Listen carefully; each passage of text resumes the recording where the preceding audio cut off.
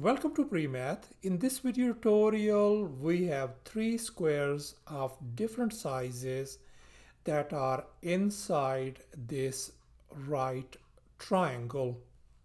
And moreover, the area of this smaller square is 9 square units while this red square is 25 and we are asked to find the area of this biggest square.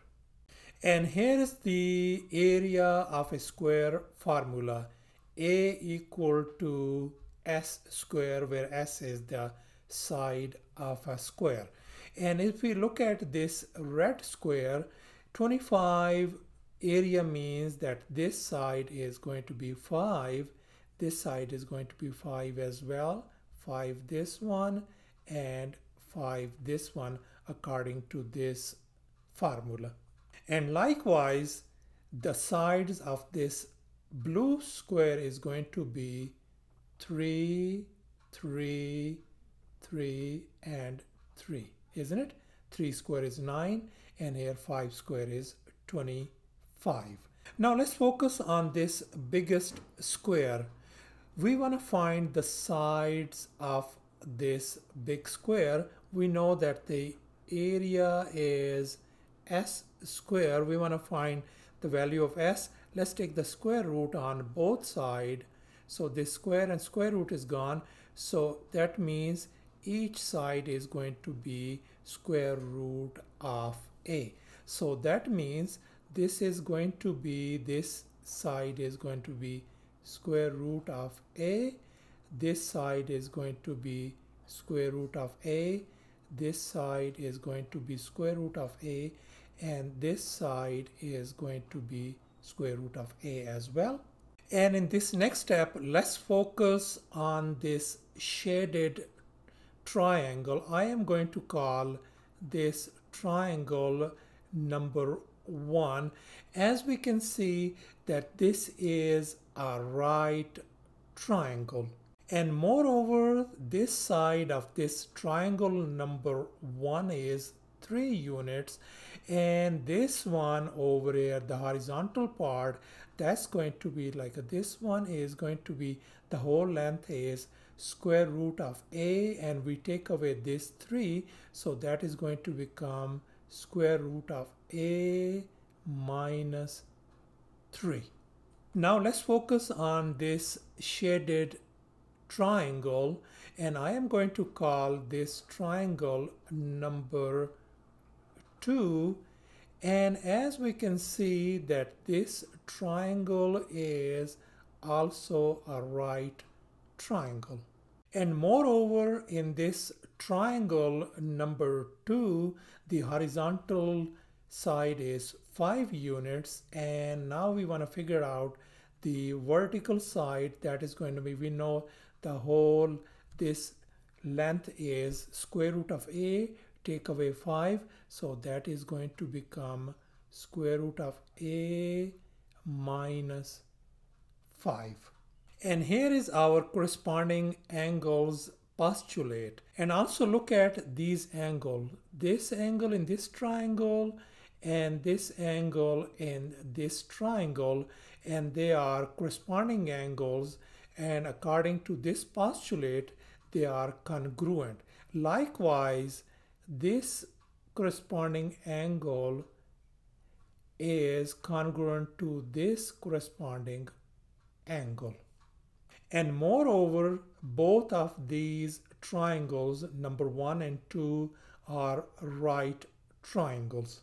Therefore, triangle 1 and triangle 2 are similar triangles. And since they are similar triangle, I can write them this side divided by this side I can write as a proportion this one as a ratio 3 divided by square root of a minus 3 equal to we can write as proportion this side divided by this side which is square root of a minus 5 divided by 5. Now let's go ahead and solve for a. Let's crisscross first. We're going to cross multiply and let's go ahead and do this one that is going to give us 3 times 5 is 15 equal to when we multiply the other way around we have a square root of a minus 3 times square root of a minus 5 and let's go ahead and now on the right hand side, let's use a FOIL method. We're gonna distribute twice. So this time this, and then this time this, and then finally this time this. Let's go ahead. 15 is on the left hand side and the right hand side when we multiply this thing, this is gonna be square root of a times square root of a minus 5 times square root of a then minus 3 times square root of a and then finally negative 3 times negative 5 is going to give us positive 15 and over here as you can see square root of a times square root of a is equal to a according to this explanation. So I can write this one 15 equal to a.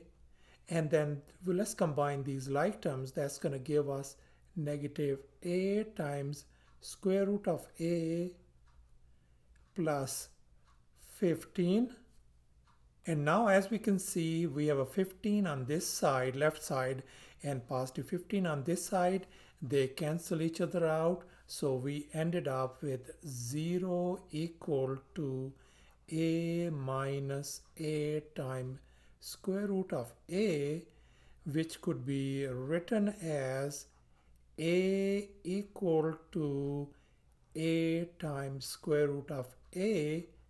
Let's go ahead and square both sides a square and the square of this one. So on the left hand side we're going to have a, square and on the right hand side 8 square is going to become 64 and this square and square root is gone. So we just simply ended up with a. Let's move this 64a on the left hand side we got a square minus 64 a equal to 0 let's factor out a.